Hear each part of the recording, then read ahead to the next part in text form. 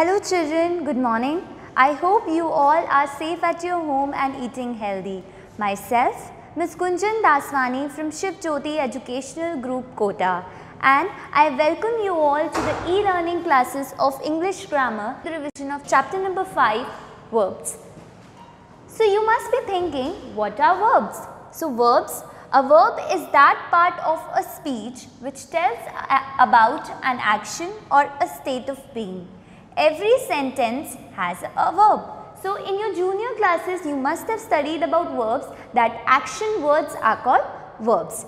But today you will see that how this verb is used in a sentence. So we can require, it is not compulsory that there should be only one verb in a sentence and without a verb a sentence is incomplete. So let's look at this example. Neha eats fruit daily. So here the action that is done by Neha is eat. So eat is the verb. So in this type of sentence you can see Ram is eating fruits. As I said it is not necessary that there should be only verb one, one verb in a sentence. There can be more than one word, verb too. So here we are having two verbs that is is eating because eating is the main verb and is is the helping verb. So here are two here in this sentence there are two verbs that is Ram is eating fruits.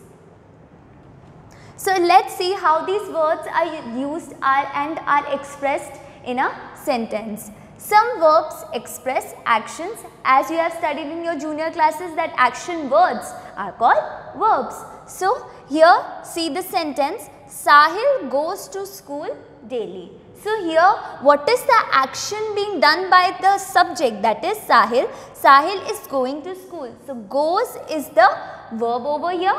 So in this sentence you can see she walks in the park. So what is the action being done by her that is walks. So walks is the verb. So now let's see there are different forms of the verb be and have you must be thinking what are the forms of what is the be form of the verb, what is the have form of the verb. So let's see. So be form of the verbs are is, am, are, was, were, been and being. So as you have acknowledged it in nouns also that is was used with singular, am with I, am is always used with I and only I. Are for plural, again was for singular, were for plural and been and being are the forms of be. So here and this have, have has, has, have and had. These are the forms of have. So now the verbs be and have can be used both as main verbs and helping verbs. So we have studied about the different forms of the verbs in the previous slides that is, am, are, was, were, been, being, has, have and had. So here they can be used both as a main verb and an helping verb. Let's see how they are used as a main verb and helping verb. In first sentence that is she is an intelligent girl. In this sentence there is only one verb that is is and we are not seeing anything anything except is. Any there is no verb except is. So is will be categorized as the main verb because there is no any there is no other verb used in this sentence. But as you can see in this sentence she is going to market. So here the action verb is going and is is the, used as the helping verb. The main verb would be the action that is representing the action that is going and is would be the helping verb. So, in this sentence is is the main verb and in this sentence in the second sentence is is the helping verb. So, same goes with have also. She has a beautiful purse here has is the help main verb and here she has done her work here has is the helping verb because it is coming with the action verb. So now the next topic is subject verb agreement. We will see in this topic we will be seeing how the subject is followed by the verb and how it agrees how they have how their relationship states. So here if the subject in a sentence is singular, if the subject of the sentence is singular then what will happen? Let's look. So first example is he plays football. Here the subject is he that is singular and it is followed by the direct verb that is the main verb and in between there is no helping verb being used. So, if we are using the subject after the after the main verb that is directly the main verb only then the verb would be plural. But in this sentence as you can see he is playing cricket. So, in this sentence we are using is and you must be thinking is is used with singular subject right is always comes with singular. But now here you can see as I told you in this concept that uh, if the subject is singular then the verb should be plural but here if the subject is singular then the verb should also be singular. Why? Because there is more than one verb and the main verb is not being directly followed by the subject that is why. Second, if the subject in a sentence is plural, then what will happen? Let's see. Let's look at the example. The students study in the class. So, in this sentence, the students is the subject which is plural and it is followed directly by the main verb. So, if it if the plural subject is directly followed by the main verb, then the verb would be singular that is vice versa. If the subject was singular then the direct main verb after the that is directly the main verb is there then that was plural and here if the subject is plural then the verb is singular. But as you can see in this sentence the students are studying in the class.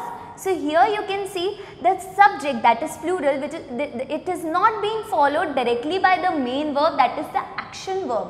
So, here in between there is a helping verb and as you all know R comes with plural. So, here it is students are studying in the class.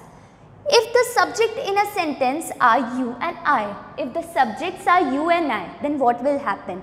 If you and I are there, then if we are using it with the be form of the verb and have form of the verb, then it should be plural. As we know, are is plural, have is plural. So, you and I, though they are singular, but we, are, we will be using are and have with it. So, you are really very pretty and I have your purse. But as you can see in these two sentences, if you is followed directly by the main verb, then the verb would be singular. And same goes with I, I play piano very well. Let's look at the exercise. It's on page number 20. Please open it. Exercise number A. Complete each sentence choosing the correct verb from the strip. So here you can see you have to do is you have to fill the blanks according to the words given in this strip. There dash a bathtub in the hotel room. So there is only one bathtub. That is the only one bathtub is there and we are talking about only one bathtub. So either is will be used or was will be used. But but as in the strip there is no, no option given as is. So, we will be using was. So, there was a bathtub in the hotel room. Second, where dash you kept my cap. So, here the subject is you and with you we use the be form, the plural be forms and have forms of the verb. So, here it will come have. Where have you kept my cap? So, rest will be done like this only. Question number B, circle the subject in each sentence and tick correct the correct verb of the ones given in brackets. First, the people in my neighborhood is or are very helpful. So, what you have to do is you have to choose the correct form of the verb which will be used here. So, the people in my neighborhood, the, the, the subject is plural. So, with that we will be using are very helpful. Second, the plants in the garden need or needs to be watered. So, what would be the answer over here is need because vice versa relationship we will be using. So, answer would be need. The plants in the garden need to be watered. So, the next topic that we, will be doing is types of verbs. So, verbs are of two types transitive verb and intransitive verbs. So, let us study it one by one. First, transitive verb. This type of verb requires an object to complete its sense.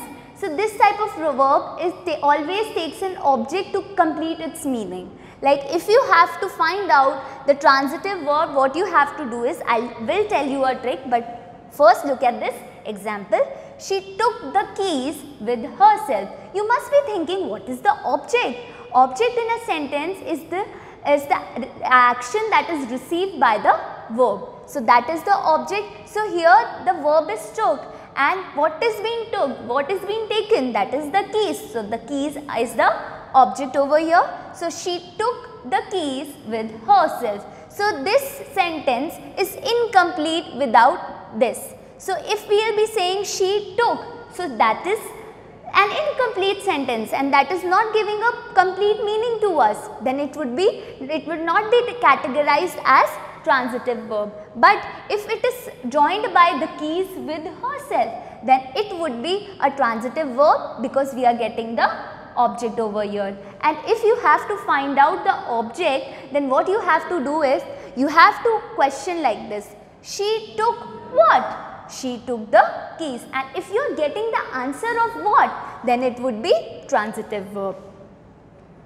Next, intransitive verbs. This type of verb does not require any object to make a sentence. Example, as you can see, this type of verbs are, uh, this type of verb does not require any object to complete its meaning. So, she wakes up early in the morning. Here, there is no object being used. There is no object being used. Then too, it is completing its meaning. Then too, it is giving a complete meaning to us.